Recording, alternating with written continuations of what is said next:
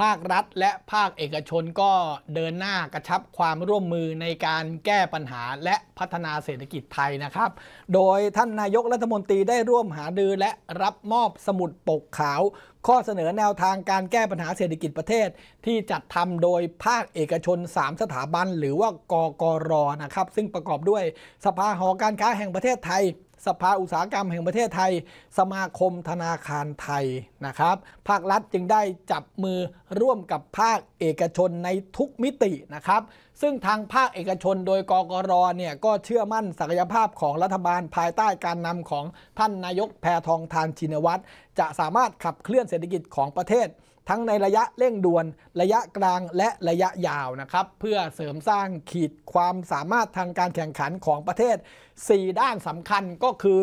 1. การแก้ปัญหาเศรษฐกิจ 2. การช่วยเหลือธุรกิจขนาดกลางและขนาดย่อม หรือว่า SME 3. การบริหารจัดการน้ำและ 4. การเพิ่มขีดความสามารถในการแข่งขันของประเทศ ทางกกรเชื่อมั่นว่า ภายใต้ความร่วมมือระหว่างรัฐ และเอกชนอย่างใกล้ชิด จะมีส่วนช่วยผลักดันข้อเสนอดังกล่าว ให้เกิดผลเป็นรูปธรรม เพื่อให้สามารถแก้ปัญหาและฟื้นฟูเศรษฐกิจไทย ให้เติบโตได้เต็มศักยภาพ โดยมีเป้าหมายให้ GDP ของไทย กลับมาเติบโตเฉลี่ยไม่น้อยกว่า 3-5%ในปี 2568 และเสนอให้รัฐบาลกำหนดการจัดประชุมกรรมการร่วมภาครัฐบาลและเอกชน เพื่อแก้ปัญหาเศรษฐกิจร่วมกันอย่างสม่ำเสมอทุกๆ 6 เดือนนะครับ ซึ่งท่านนายกก็ได้ตอบรับและสั่งการให้ทุกภาคส่วนร่วมกันขับเคลื่อนนะครับ โดยหลักๆก็คือให้กระทรวงการคลังเนี่ยนำคณะจากฝ่ายข้าราชการประจำประสานความร่วมมือกับภาคเอกชนอย่างใกล้ชิดนะครับ ในเรื่องของการแก้ปัญหาเศรษฐกิจ และการ พัฒนาเศรษฐกิจนะครับทั้งในส่วนของการแก้ปัญหาหนี้ครัวเรือนนะครับ การผ่อนภาระค่าใช้จ่ายของประชาชนนะครับ แล้วก็การช่วยเหลือภาคธุรกิจในภาคส่วนต่างๆนะครับ ให้ทางสำนักงานคณะกรรมการพัฒนาระบบราชการ หรือว่ากพรร่วมหารือกับภาคเอกชน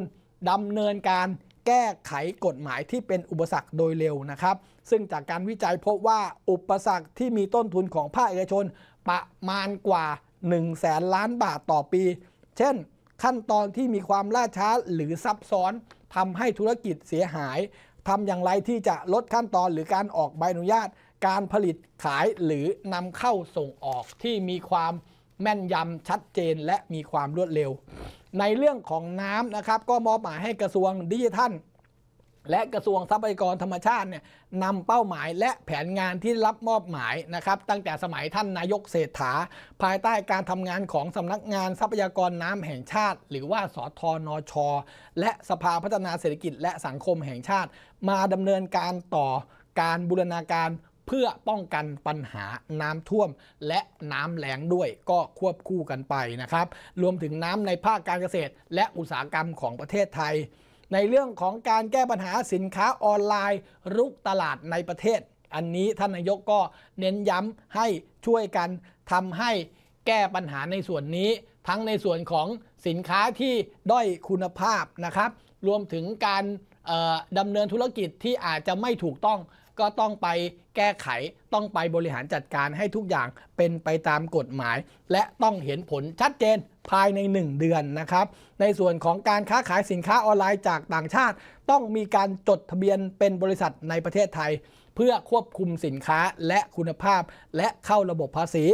สินค้าที่ขายในออนไลน์ต้องมีมาตรฐานอุตสาหกรรม หรือมออก